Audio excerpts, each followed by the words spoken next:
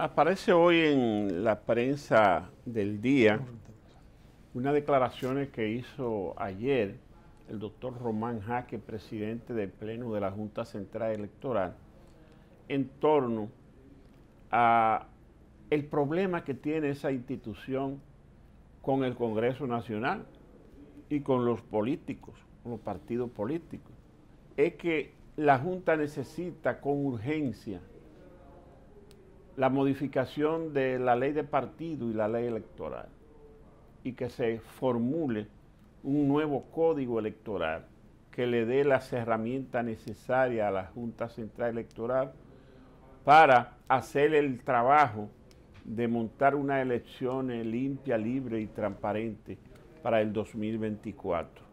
Porque los actuales instrumentos legales de que se apoya a la Junta para hacer su trabajo tienen falencias y él le urge que el Congreso lo escuche y le ha pedido al presidente, a los partidos, a todo el mundo y parece que nadie le hace caso en esa tarea. Y uno tiene que apoyar lo que plantea ese hombre porque ciertamente la Junta necesita hacer el trabajo con una firmeza de que no haya duda de que se está haciendo lo que se debe hacer. Sí, yo creo que la experiencia que vivimos en el último proceso electoral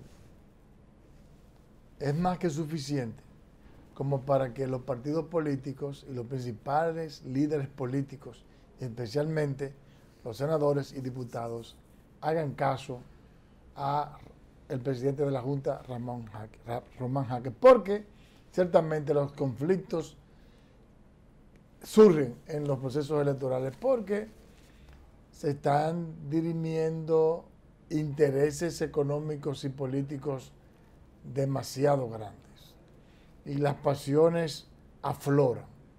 Entonces, lo mejor es que la Junta Central Electoral, órgano encargada de montar el proceso electoral, tenga un instrumento jurídico lo suficientemente fuerte para que pueda poner la casa en orden, para que pueda administrar todos esos conflictos y el montaje de ese evento tan importante que es el que legitima la democracia y legitima los poderes del Estado.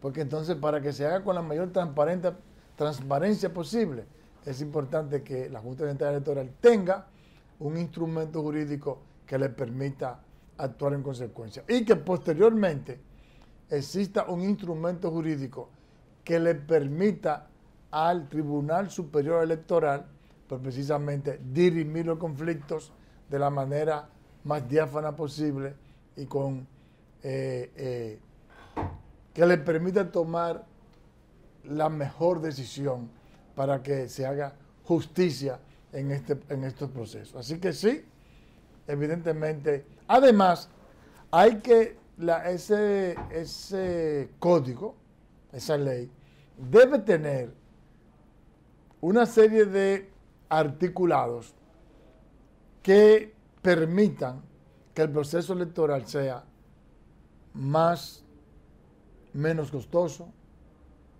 que sea de menor tiempo y que permita que sea una especie de colador para que salga, resulte lo mejor de la política. En el sentido de que sea la persona que a través, por ejemplo, del debate pueda formular cuáles son sus propuestas, si tiene la formación, si tiene la vocación, si tiene el criterio adecuado para que cuando pase a ser un servidor público, sirva con calidad. Porque sabemos que las, el Congreso Nacional y los ayuntamientos están repletas de personas incapaces, que lo único que tienen es dinero y en muchas ocasiones no lo obtienen de la mejor manera. Pero como el dinero se ha impuesto en los procesos electorales, son los que pasan, no las personas educadas, con formación, con criterio, se quedan se quedan porque el dinero se impone. Así que yo creo que sí, urge que se complazca al presidente de la Junta Electoral, Román Jaques, en otorgársele, en que se pase y se apruebe una ley de partidos políticos acorde con la realidad que tiene que, de la República Dominicana y que sea un instrumento de fortalecimiento institucional y democrático. Cada vez que yo veo las declaraciones del presidente de la Junta Central Electoral, lo que voy a, buscar de una vez es dónde, dónde lo dijo. Y efectivamente, el presidente lo invitaron a dar una conferencia a una universidad por ahí.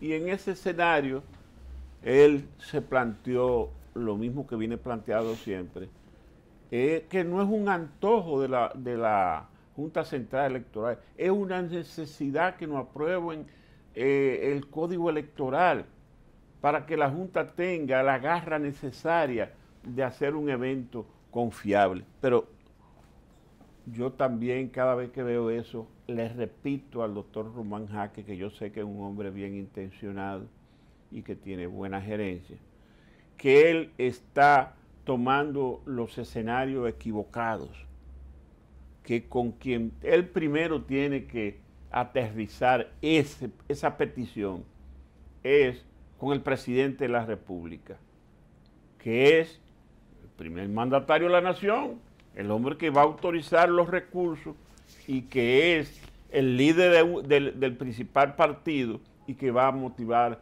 a su partido vía los legisladores para esa tarea.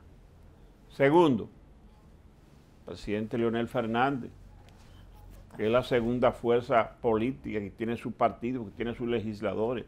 Vaya ¿La segunda fuerza política, don Freddy? Sí, son las visitas individuales y después va donde Danilo Medina, que es otra fuerza política, otro jefe de partido, y así va. La tercera fuerza política. Sí, entonces va ya de último al Congreso, donde los presidentes, tanto de Pacheco en la Cámara de Diputados, como de Estrella, el ingeniero Eduardo Estrella en, en el Senado.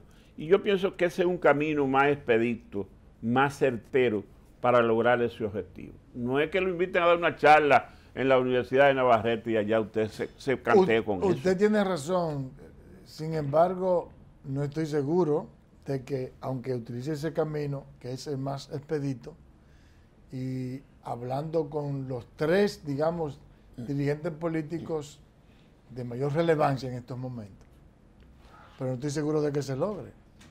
Porque recuerde, y sí entiendo que quizás eh, Leonel Fernández ponga de su parte, porque Leonel Fernández peleó mucho por, ese, por esa ley de partido político. Sí, Recuerden que él dijo, esa ley que están aprobando es inconstitucional.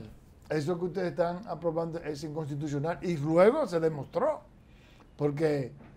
Eh, pues cuando usted vea... En varias ocasiones tuvo el Tribunal que es constitucional eh, eh, que eliminar artículos, una cantidad impresionante de artículos eliminó el Tribunal Constitucional y todavía todavía le queda muchísimas falencias muchísimas falencias que no ayudan pues a que la Junta monte adecuadamente ese proceso. Cuando usted ve a Román Jaque, dígale eso, que el camino que él está tomando, los escenarios que está tomando para pedir eso, no son lo correcto.